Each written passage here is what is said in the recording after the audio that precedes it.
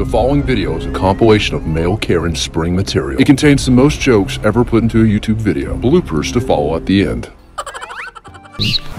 Every St. Patrick's Day, we throw a block party, which we ask our neighbors to hard RSVP to. The hard R's are the life of the party. We can't do it without Some neighbors can't be hard R's, so they give us a soft answer. Or, soft A. every year, we invite an honorary member. This year, we wanted a hard R from uh, Mac McClung, but we knew he was just a soft A. well, I really wanted him to be a hard R. Man, he really wants to be a hard R. Very bad. What's up, my hard R brother? What's up, my hard R? SVP. Every spring break, our Karens take a week-long carnival cruise to Punta Cana. It's their time of the year to be C words. They're always C words during spring break. Do you think that's why women seek rich guys? Because they want to be C words? Most married rich women are C words. You know who's always C words? The Kardashians. You know, the Kardashians always are C word ho, as they say. They're definitely big into the C word hoe lifestyle. Well, Doug, we'll pick up our C word wives together next week. That's right, little darlings. We'll see you next Tuesday. We recently opened Shaved Ice Stand, which we were calling Eskimo Brothers. Come on down and share some pleasures of shaved ice. If you've never had it shaved, your mouth is gonna love it. We're open to all. Homeless, dogs. It's a, it's a pup cup. if you're a serviceman, we'll let you be an Eskimo brother for free. Firemen love to be Eskimo brothers. Priests, priests come in. They usually uh, share a small. Well, that- okay. Okay, well, Doug, how are we gonna be Eskimo brothers now, Doug? We recently volunteered to be coaches for spring baseball. Something we're very good at helping the kids identify is if they're a pitcher or a catcher. some kids just are natural catchers. if you're gonna play catcher, expect to spend a lot of time on your knees. You have to be very flexible. Expect to have balls flying at you from everywhere. You're gonna get plowed into. That's why he's wearing protection in the first place. Remember, whippersnapper, whether you're a pitcher or a catcher, it's just fun to play the field sometimes. We recently volunteered to be hairpiece coordinators for the local theater. We are huge. Wiggers. We're the biggest wiggers around. What's up, my wigger? What's up, my fellow wigger? You know who could benefit from having a wigger in their life? Jada Pinkett Smith. Uh, you mean Will Smith's husband? we could just slap one right on there. you know, if we sold wigs to them, we'd be wigger rich. oh, well, they're celebrities, so you know they ain't messing with no broke wiggers. wigger, please. Wasn't somebody in your family a wigger as well? Uncle Tom. He works from home, so he was He's a house wigger. We're wiggers for life, my wigger. Wiggy Azalea. She's a huge wigger. they often say, can wiggers do braids? Her braids are just a wig. She's a gigantic wigger. We were recently informed by the police that the local lacrosse teams have been causing a ruckus. It's not so much the girls lacrosse team, G-Lax. G-Lax. It's the boys across Seymour. the B-Lax. Oh, the police have their eye on the B-Lax. Police cannot stand the B-Lax. A local high school, B-Lax Panthers, took on B-Lax Hawks. There's a big fight. B-Lax on B-Lax crime. We cannot stand for it. B-Lax Lives Matter. If you're from an outside B-Lax team, do not mess with number 12 We don't mess with 12. on our team. Absolutely not. Who's more problematic, mm. JV or varsity B-Lax? I think it's the big B-Lax dick. to practice safety while doing handiwork, Doug and I always wear our handicaps. That's right. I've got a huge handicap that I like to put on. I would say that wearing a handicap puts me in the headspace to do blue collar work. So it's like a mental handicap. Most people in the construction industry probably have a mental handicap. Of one kind or the other. Get your heart on, dick.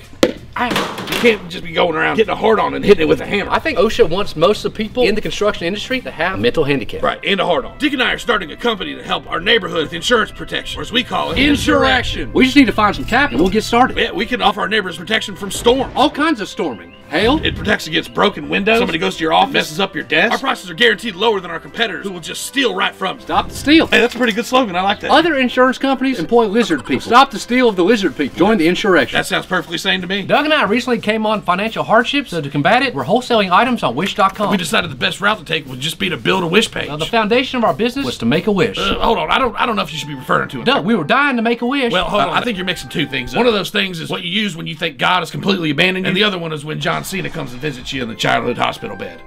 Every Easter we host a kids petting zoo where the kids can play with our rabbits, Peter. That's right. We both have rabbits named Peter. But unfortunately, this Easter our Peters broke loose. we had kids from all over the neighborhood running around trying to grab our Peters. if you've ever tried to handle one of our Peters, it's very tough. They're squirmy. well, except for that one time uh, you grabbed that Peter and it was pretty stiff. oh, that Peter had passed away and had rigor, Rigor mortis. mortis. That was one of the stiffest Peters I've ever seen. With the high cost of eggs this year, we've decided to forego dying Easter eggs. This year we'll be distributing Plan B chocolate. That's right, Easter Plan B. Yeah, I told all the kids we're distributing Plan B this year. I, th- I think you're mixing two things up, Bart. One of those things is about dying eggs. The other one's about eggs dying. With spring around the corner, we started teaching the neighborhood kids about lawn maintenance. We're teaching them how to edge, how to trim bush, and how to fill in holes. If you want your kids to learn about grooming, come hang out with Dick and Doug. We'll give them tips and income. Kids love to get income. We know the springtime is afoot when all the blooms and flowers start coming out. Coming out season is one of our favorites. There's actually some pansies in my garden coming out right now from their wintertime closet. As I remember, you had those tulips and you put the succulent right between them. Oh, when the pansies, succulents, and tulips get together, it's a great coming out season. It's a coming out party, some would say. Doug likes to dig around in the mud during coming out season. I like to get my hands in there and see if I can get some of those new rosebuds to come up and bloom. But Doug is pretty good at getting things to come out. Yep.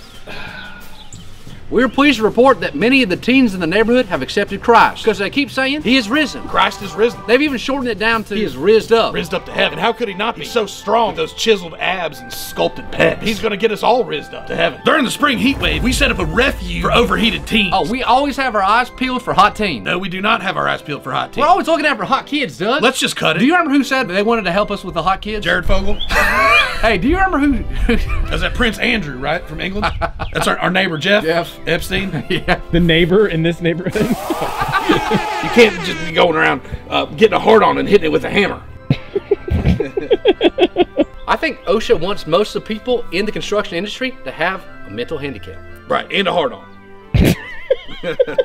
It's just fun to play the field sometimes. Just get yourself out there. Try some different positions. you know who one of the best catchers of all time was? Will Smith. you remember last year when your uh, Karen slammed your Peter in the car door? I would say you have a short, wide Peter, and uh, I also have a short, wide Peter. One time, Doug came over to my house and played with my Peter without my consent. That's on me. No, I was sleeping. Did you kiss my Peter? this is so fucked.